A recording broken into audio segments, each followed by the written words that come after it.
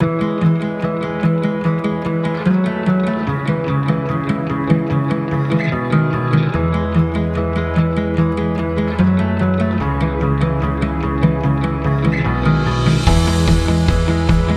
die ich mir vorstelle, ist eine Welt, wo alle Menschen die gleichen Chancen haben, den gleichen Zugriff auf Ressourcen haben und in der alle Leute teilhaben können an einer intakten Umwelt und an einer gerechten gemeinsamen Gesellschaft. Da mal was.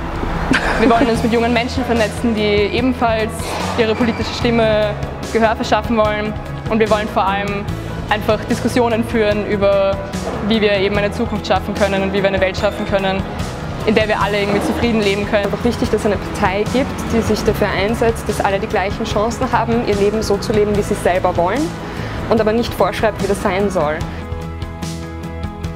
Mach mit, komm mit, sei dabei, einfach mitreden. Die neuen Grünen.